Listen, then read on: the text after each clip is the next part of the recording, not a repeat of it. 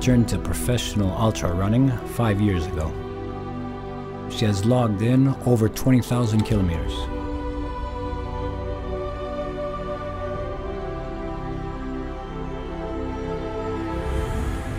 Nothing comes easily though.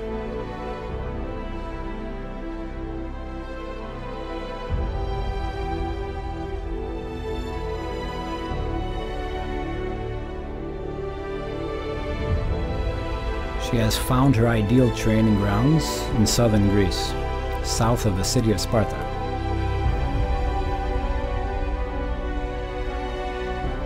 Taking advantage of the beautiful weather and breathtaking landscape.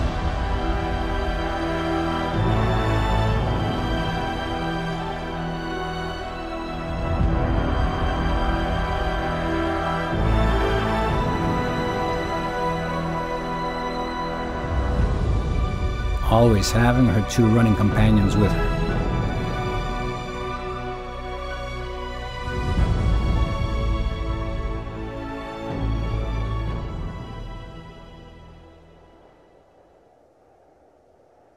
You always have to stay motivated. Uh, it's good to look at your mistakes, to look at what went wrong, to see how you can improve yourself. The only way to improve is uh, to always test yourself and to see what you can do. The world was struck by the corona pandemic, and ultra running was no exception. To maintain top physical condition, it became more of a mental battle than anything else. There was no way to know when the next race might be, and if it was possible to participate with very strict travel restrictions. Nevertheless, Noora kept training and building her endurance and strength using whatever resources she could.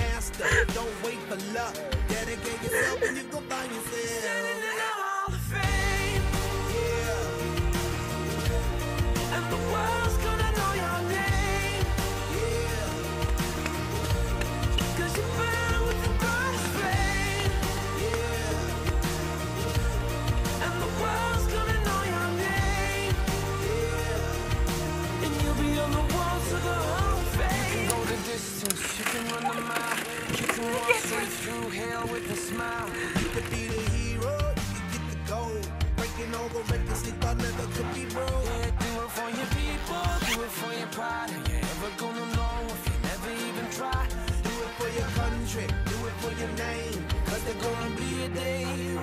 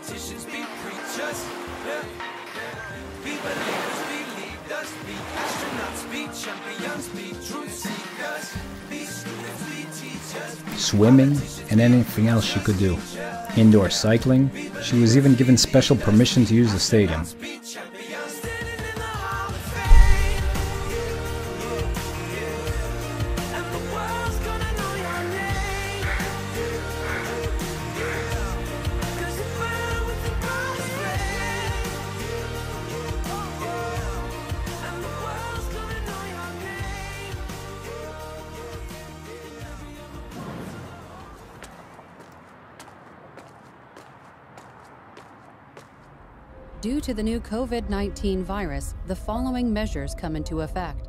Suddenly a ray of hope. Barcelona, 12 hour race. With only a week's notice and very limited preparations, Nor was very happy to be invited. A race only for a selected number of runners. As Spain was one of the most severely affected areas in Europe, running in the Olympic Stadium Barcelona was a true delight.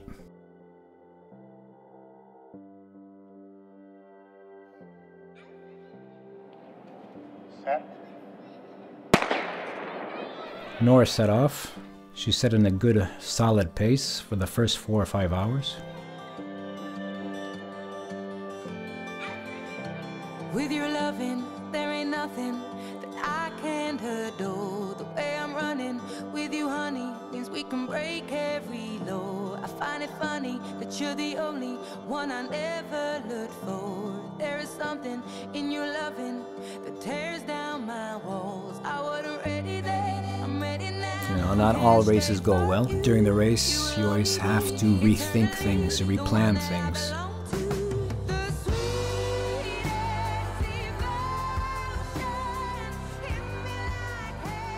Unfortunately, some stomach issues started to set in, making it a real battle to push through. Not being one to give in easily, she managed to turn things around again.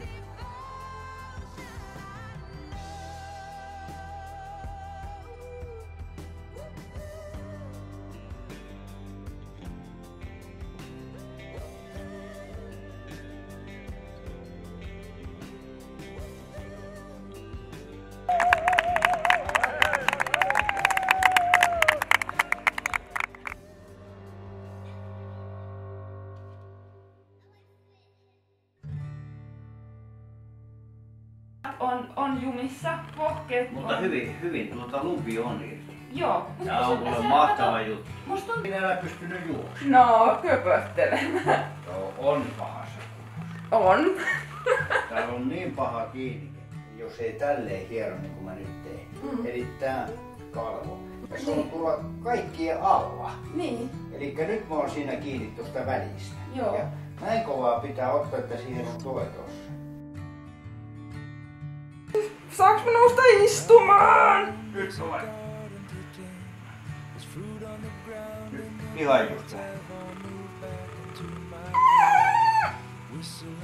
vitsin pimpulat. Vitsin pimpulat. Vitsin.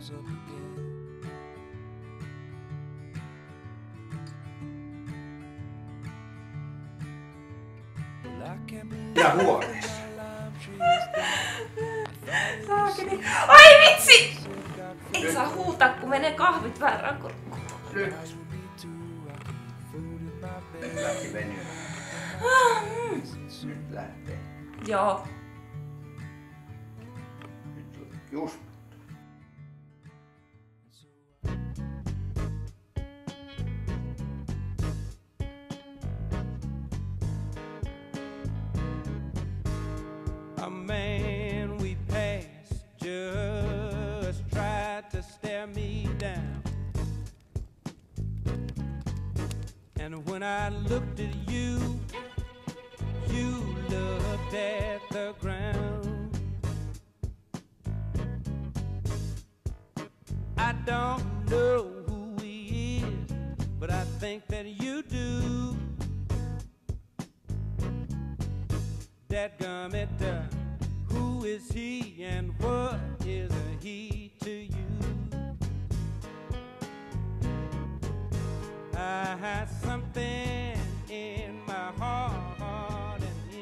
So yes, I think uh, the end of 2021, the beginning of 2022, Noora has shown her dominance in the field of ultra running. This could be due to the fact that uh, during COVID she had uh, time to train. She worked on her weaknesses. She's had some exceptional races this year. So Noora did 15 races in 11 months with exceptional results.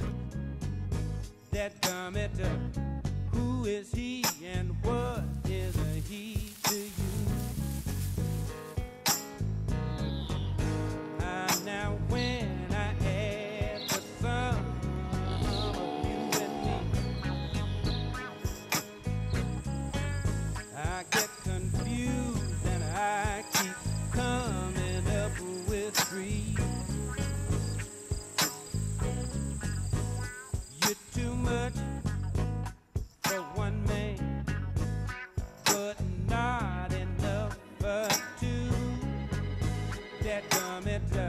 Well, there's a big uh, hype about the, the weather conditions. It was constantly playing on the news to be careful not to go out, not to train during this uh, hot weather. The Mela was the first test uh, for Nor in the heat. The temperatures on the day of the race was above 40. Race organizers uh, announced for the first time in Greece the race was going to be postponed due to the heat uh, conditions. Temperatures are expected to climb into the low to high 40s. It feels like we are standing on the surface of the sun. There was a lot of uh, happiness and joy to be at the starting line of a race again. So you could feel a bit a sense of uh, people being a bit too worried with the weather conditions of how they were to handle this race. So Noora's been living in Greece for quite a few years now. She's uh, well loved by the Greek community and the ultra running uh, community. The race started 2 o'clock in the afternoon, probably at the hottest time of the day.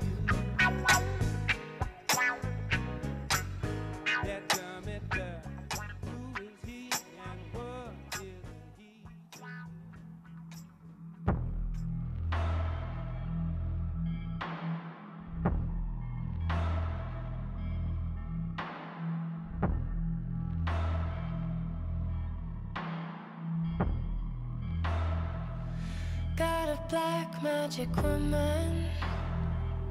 Got a black magic woman. Uh, many runners did drop out of this race. I think a percentage of about 50% of the runners uh, only managed to finish this race. Extreme conditions, even for Greece. What uh, separated this course from other courses was that there was a mixture of uh, road and uh, trail running something Noora's not really comfortable with uh, running on uh, trails. And the past couple of years we've been uh, training uh, together and doing a lot of training together. And we have managed to hit the trails quite a few times.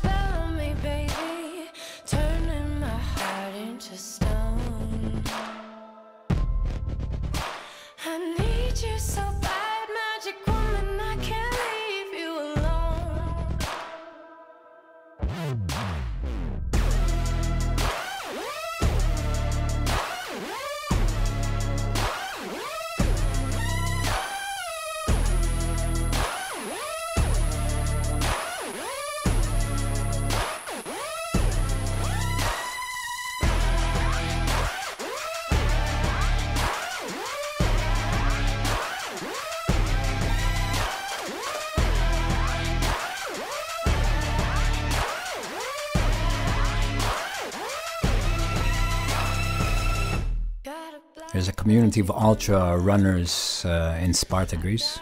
Noora's been a big part of this for the last couple of years. Everybody has become really close uh, to Noora and uh, following, following her throughout these years. Another race that uh, Noora took part in uh, to prepare her for the 2021 Spartathlon was a new race from Sparta to Ethio. Uh, which is a 59 kilometer race starting from the city of Sparta at the statue of Leonidas. And it was another day and uh, one of the most enjoyable races that uh, Noora had. To be a great athlete or runner, versatility and fun is one of the key elements of Noora's success.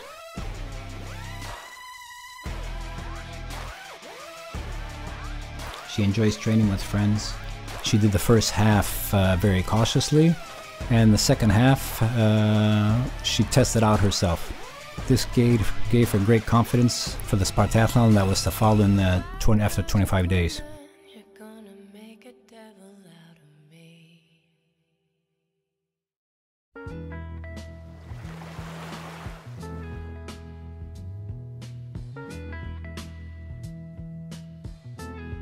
Strengthening core at the gym, meditating on the beach, or trail running with friends is what ultra running is about.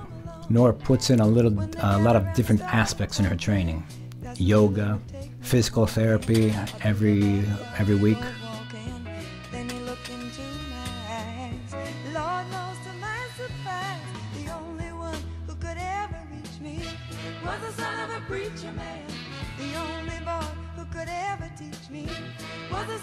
Preacher man. Yes, he was. He was. Mm,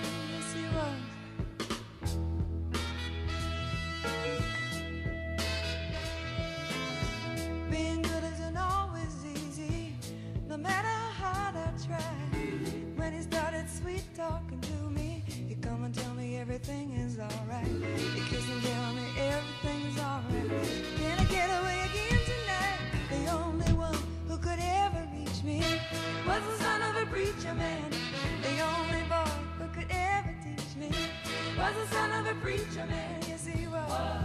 He was. He was. Yes, he was.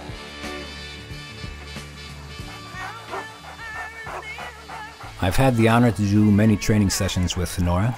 What's really impressed me from uh, one of the first sessions that we've done together, we usually choose to do hard sessions together, and that's uh, why we do them get together to help out each other. Uh, she's one that does not fear pain. She can really push herself hard, and she will not stop. Even though she was very tough in her interval trainings, our first three long runs, Noora never finished uh, these runs. If she feels something to protect herself from uh, injury, she definitely stop. And this did occur with us on three uh, three occasions.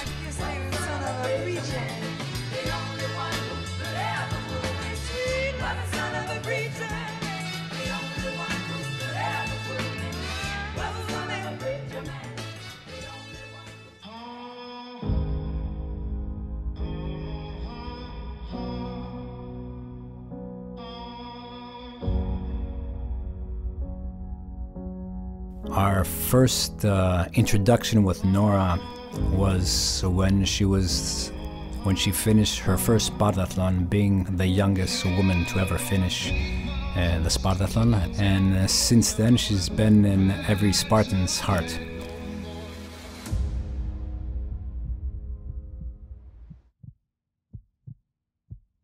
It's uh, the history of the Spartathlon begins with uh, the day runner Philippidis, starting from uh, Athens and running to Sparta to ask for help from the Spartans.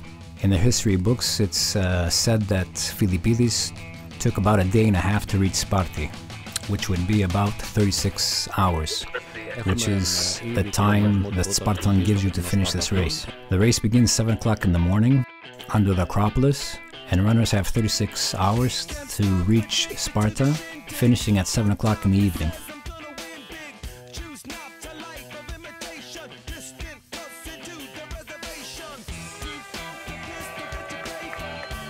Starting through the center of Athens, the pollution makes it very difficult in the, the morning traffic and pollution. And as the day gets by, heat also sets in, and it could be a really big problem for, for most runners. Due to the heat wave, most runners dropped out during the race in the first the first part of the, day up to Corinth because of the extreme weather conditions. This is some of the conditions that runners face in the Spartathlon. You'd see runners on the side of the road uh, vomiting, having stomach issues, uh, muscle cramps, crazy. Everywhere you look, there would be runners on the ground, runners sitting on chairs, runners that were dizzy, runners that were giving in the bib numbers. Another thing that makes the Spartathlon one of the toughest races on uh, Earth is its cutoff times.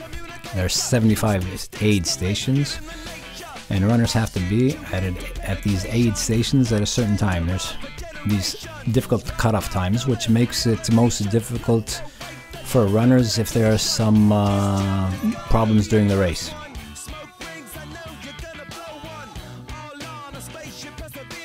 So even though you might be having a great race, uh, stomach issues, muscle cramps, getting tired at night and just wanting to sleep could really make it difficult for you to, to fall behind because you have to reach the next uh, aid station. You have to be there on time.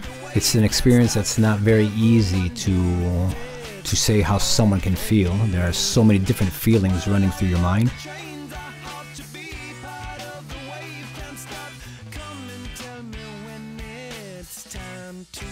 We always prepare for for our best race, but sometimes things don't go always as planned, and that's where uh, being a real runner really comes comes in. Facing these difficulties, knowing that things won't always uh, be the way we plan them.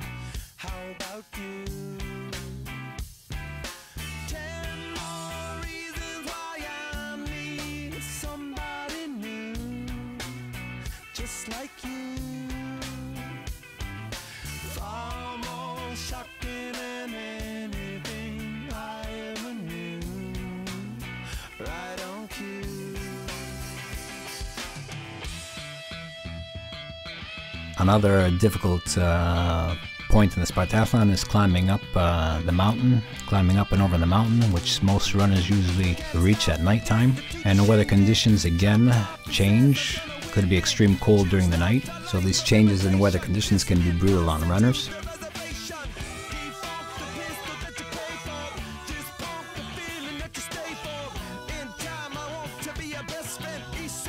Reaching Sparta the last 20 kilometers is a downhill uh, course. And you know, before the race, everyone's talking about how easy it is when you finally reach 20 kilometers before Sparta.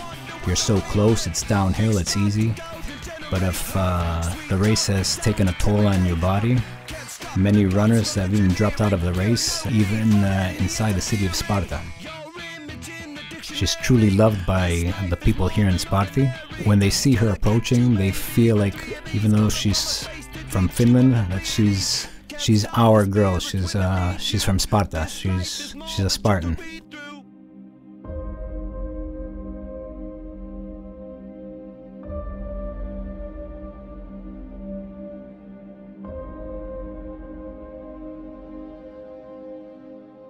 Nyt tämä viimeinen Spartatonihan oli kyllä niin nappi, että sitä on kyllä vaikea parantaa. Koskaan ei voi sanoa, että ei parantaa, mutta niin aika näyttää, mihin se, mihin se riittää. Nyt on kerta Spartatonissa tuommoinen jy, jymypaukku saavutettu meillä, niin, niin siinä tulee hyvin äkkiä semmoinen, että kun mulla on mitali siellä, niin seuraava tavoite onkin jos voitto. Se, on, se menee siinä peli, periaatteessa peli ja pelihengessä, että se lähtee aina, että kaikki tai ei mitään. Että niin. siinä on se epäonnistuminen sitten paljon suurempi mahdollisuus. Ja mä muistan itse, kun juoksin, niin kun mä olin kerran kolmas, niin seuraavana vuonna mä yritin, että no kun mä olin kerran kolmas, niin mä yritän sitä voittoa, mutta niin, tämä oli unelmissani puoleen matkaan, mutta sitten se mureni täysin, että hyvä, että pääsin perille. Että kyllä mä luulen, että tässä vielä jonkunnäköisiä jymypaukkuja tulee. Sata se MM-kisaa niin ykköspriotiksi ja sitten siihen täytyy kuitenkin, että maratonin nopeutta täytyy saada ja askel pituutta ja muutenkin muuttaa vähän harjoitusta. Että maratoni pitää mennä 2.42, 2.48 sille välille, koska satasella täytyy juosta semmoista 4, 15, 4, 5 kilometrin vauhtia ja sillä jo ollaan sitten loppuaika on 7, 15, 7, 20, niin, niin kuuden sakissa maailmassa ihan puhtaasti.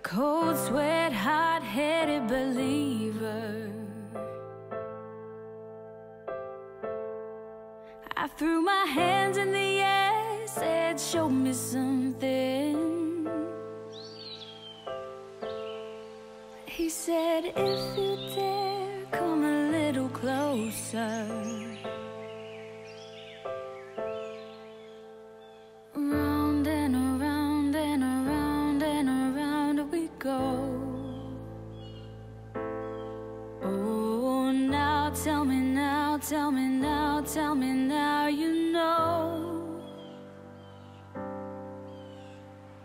Not really sure how to feel about it. Something in the way you move makes me feel like I can't live without you, and it takes me all the way.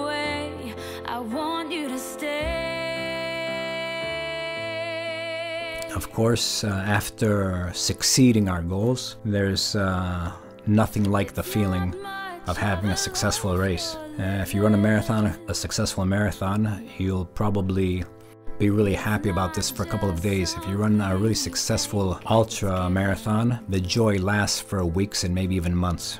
It's uh, uncomparable.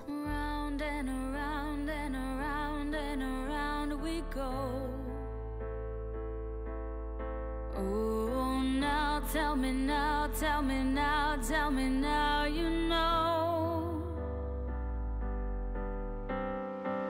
Not really sure how to feel about it. Something in the way you move makes me feel. And under like pouring rain, and with a 1,700 meter incline, this race was no easy race.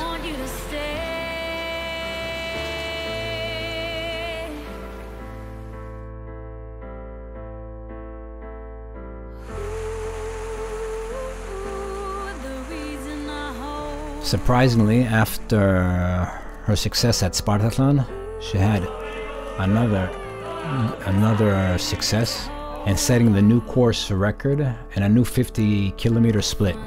After the race, time to relax in Aquapetra, which is so Noora's favorite resort. Cause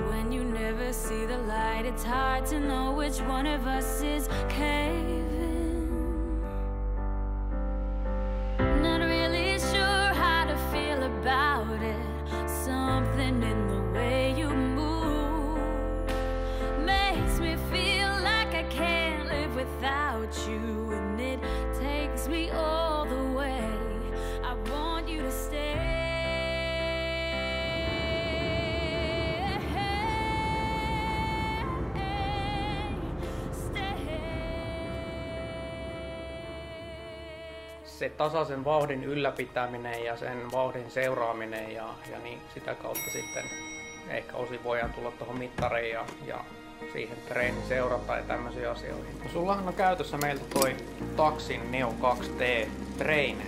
Joo, todellakin on, on käytössä ja niin kun, riippuen tietenkin harjoittelukaudesta, mutta niin kuin ihan peruskuntokaudella, niin kyllä se niin kun on mun mielestä todella hyvä tota, niin kuin lisätreeni juoksijalle, on pyöräilytreeni. Ja tietenkin sit trainerin päällä niin se on aika turvallista ja kontrolloituu ja näin, että kyllä se helpottaa aika paljon sitä niin treeniarkea, että on, on tosi hyvä tre, treeneri käytössä. Et mullahan on sitten noin Karminin wattipolkimet siinä myöskin kiinni, että kyllä saa aika paljon sitä dataa sitten, että mitä tulee sitten ihmeteltyäkin välillä, että mitä, mitä siinä treenissä tuli tehtyä, mutta Käytätkö sä erillistä sykevyötä ja jos niin milloin? Joo, kyllä mä käytän oikeastaan 90 prosenttia mun tota, harjoituksista. Mulla on aina sykevyö. Tänä vuonna sitten tuli sulle kyllä niin kuin erittäin hienoja tuloksia, josta tässä lehdessä nyt on sitten niin kuin hyvä, hyvä yhteenveto tuosta Spartasta, että aika alkumetreiltä säkin olet ollut messissä. Kyllä. Muistan elävästi silloin, kun te Sepon kanssa tulitte käymään ekaa kertaa. Oli aika mielenkiintoinen lähteä sitten viemään niin tämmöistä projektia eteenpäin. Sillä on kymmenen vuotta tehty menestyksellä. Ja... No, mutta meidän on hieno jatkaa yhteistyötä tästä sitten ensi vuoteen ja tulevaan. Ja mielenkiintoista nähdä, mitä, mitä se tuo tullessaan. Ennusmerkit on hyvät ja tästä on hyvä jatkaa. So Nora was out on a Monday morning in a hard training session. When she gets home, she receives a phone call from the organizers in Tel Aviv inviting her to come to race in Tel Aviv in a 12 hour race. This race is by far one of uh, Noora's uh, most enjoyable races with uh, friendly people, cheerful faces at the race.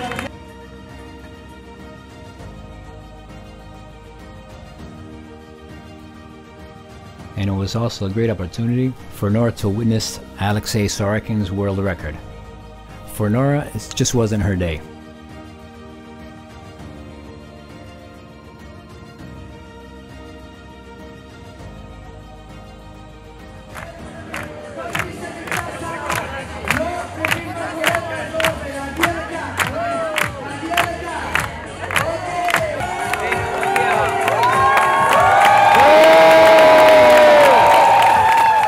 So Tel Aviv was an opportunity for Noora to uh, rest herself, uh, to enjoy herself, and prepare herself for the Sparta City Ultra.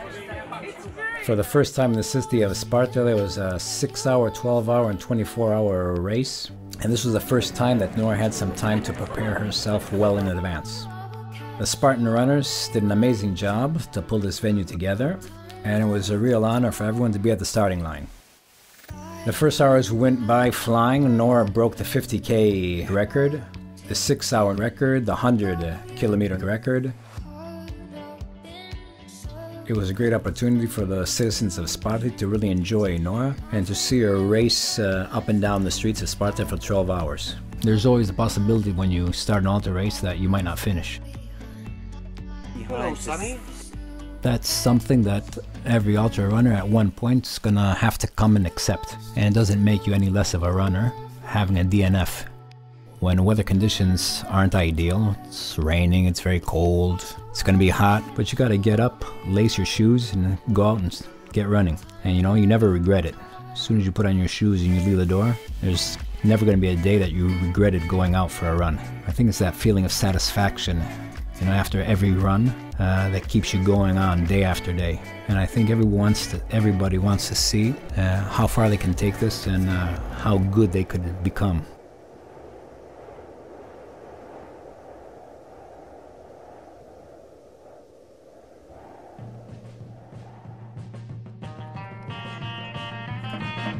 So it was a record. It was a record.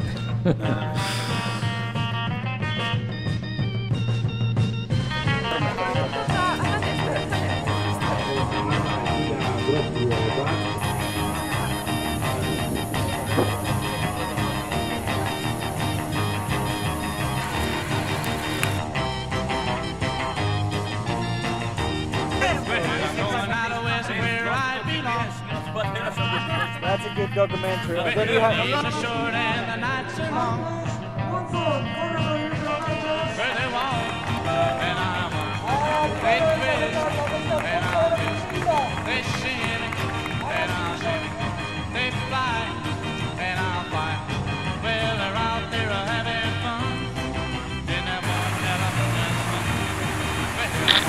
Oops, leave a feed.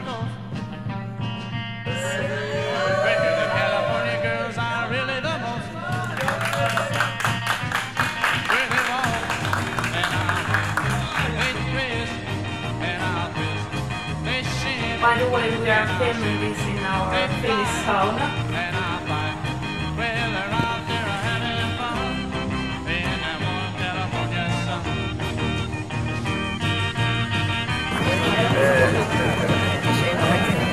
Nineteen point five.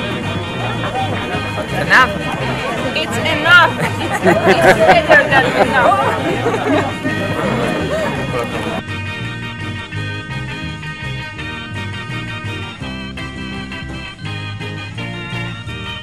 Well, the girls are frisky in old Frisco.